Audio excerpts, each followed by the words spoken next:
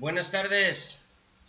Del 23 al 28 de el mes, del mes de agosto del año en curso, eh, Canacar envía una circular con el número 346 diagonal 2021 en la Ciudad de México al 23 de agosto del 2021. Dice, a todos los autotransportistas de carga del país, operativo de peso y dimensiones y revisión de frenos en Veracruz.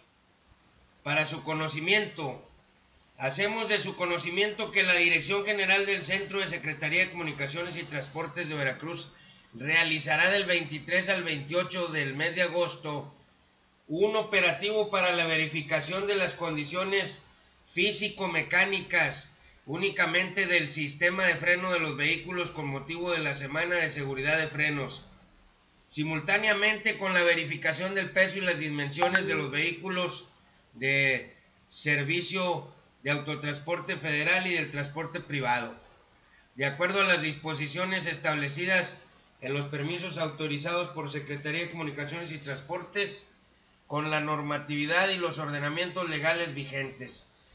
Se realizará en un centro fijo de verificación de pesos y dimensiones ubicado en el estado de Veracruz, en la carretera federal número 540, guion intermedio L, Libramiento Veracruz, tramo Santa Fe, Paso del Toro, ruta 180, tipo AA. Dice, vehículos a revisar, los clasificados en las tablas B1, B2, C1 y C2 de la NOM 012 CST 2 2017.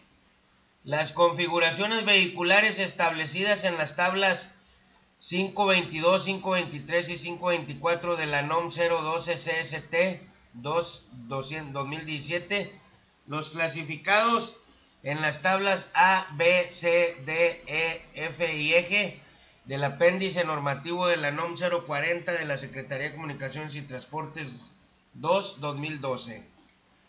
Lo anterior se hace de su conocimiento a fin de que las rutas que transitan sus unidades verifiquen en todo momento cumplan con el peso, dimensiones y condiciones físico-mecánicas para evitar la imposición de sanciones. Por la importancia de esta información agradeceré la difunda, la difunda con los transportistas de su zona. Atentamente, José Refugio Muñoz López, vicepresidente ejecutivo de Canacar. Pues ahí está la información, señores. Eh, va a haber revisión de frenos en el retén de pesos y dimensiones ubicado en el libramiento Paso del Toro, Santa Fe. Ese es lo que está publicando Canacar. Falta ver si en algunos otros menciona nada más uno. Uno. Del 23 al 28 de agosto del año en curso. Menciona nada más ese retén. Vamos a ver si no se eh, extiende a, toda a todo el territorio mexicano en las diferentes superficies de rodamiento. Pues es la información que tenemos de primera mano y, y pues allá en Nogales, Sonora, el Sindicato Nacional de Operadores respaldando el paro de labores de transportes JBC y los de Manuel Huerta. Eh, se va a poner bueno el asunto. Muchas gracias. Éxito, paz y luz para todos. Que tengan excelente inicio de semana. Buenas tardes.